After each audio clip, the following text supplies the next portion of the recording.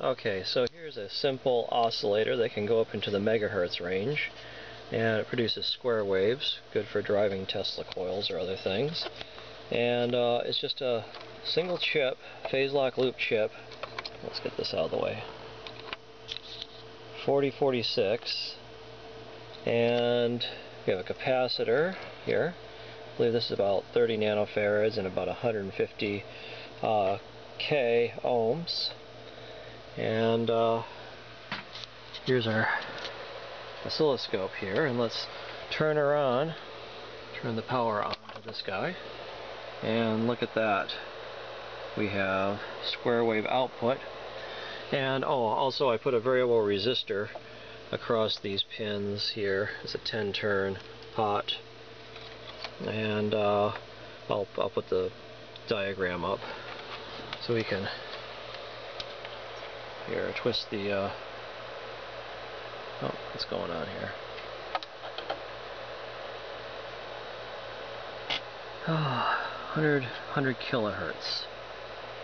Okay, I've been fiddling around with, you change the uh, capacitance value and the uh, uh, one resistance value, you change the, the range that this, this uh, guy can uh, oscillate at. So this is a phase lock loop, but this is just the voltage controlled oscillator part of it. Phase lock loops are used for demodulating FM signals, or back in the good old days when we used to have analog TV. Oh, what's going on here? Okay, so maybe it had to get warmed up. Okay, so this is about uh, several hundred kilohertz. Okay. There we go. And uh, the chip says it's rated up to about 38 megahertz. I haven't pushed it up that high, but it seems like it can become unstable though. And here we have the FFT down here. Here's our square wave up here. And this is uh, 5 to 15 volts on the chip. And uh, maybe we'll do some interesting projects with that. Uh, this is uh, analog, good old analog engineering here. Okay get some of this stuff out of the way. Anyway, phase lock loop chip for a simple signal generator, one chip signal generator. Okay, so our new capacitor has got uh, 418 picofarads.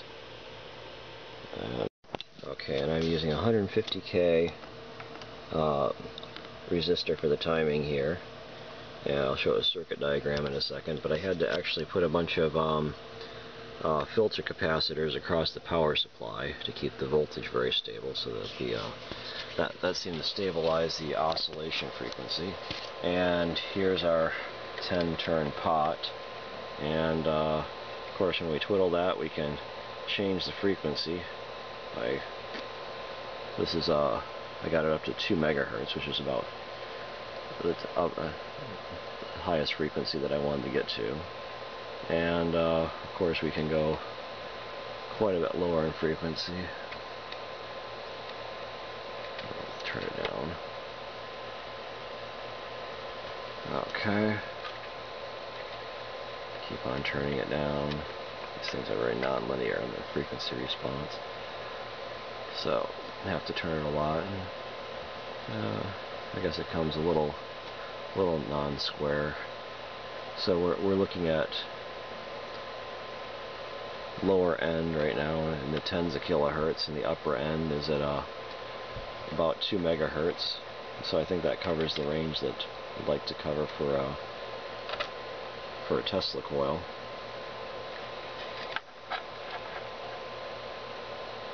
Okay, there's our 10, 10 turn pot.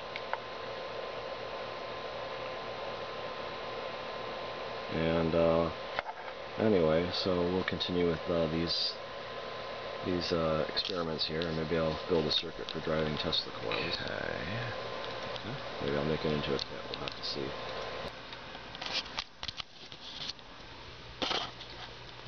Okay, so here's a uh, a uh, diagram, circuit diagram of our oscillator. It's a pretty simple circuit, and I drew this inside a GIMP and remember this capacitor here we're just measuring that out and uh, this controls the upper frequency that you can go to and uh, I think it was like about 400, 500 picofarads, half of a nanofarad, and uh, that got us up to almost 2 megahertz, which is pretty good for a $1 uh, oscillator.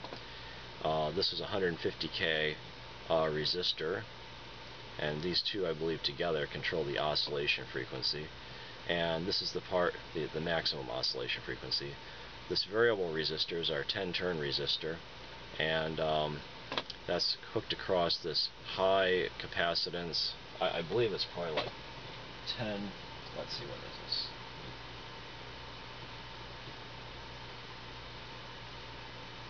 Oh, this this uh, big capacitor is about 200 microfarads, and you need a big capacitor across the voltage here to stabilize the frequency, or else the frequency will be hopping around as this thing switches, which you don't want. And uh, our 10-turn uh, pot potentiometer uh, selects the frequency, so we can uh, scroll between the lowest frequency, which is about 30 kilohertz or so, up to uh, 2 megahertz. And so there it is, your uh, circuit for your $1 signal generator for, for you mad scientists out there that want to do all sorts of crazy stuff, make your own circuit boards, make uh, high voltage equipment. I want to use this for a Tesla coil driver, so we'll see. Anyway, this is uh, Dr. Jaynes, and thanks for watching.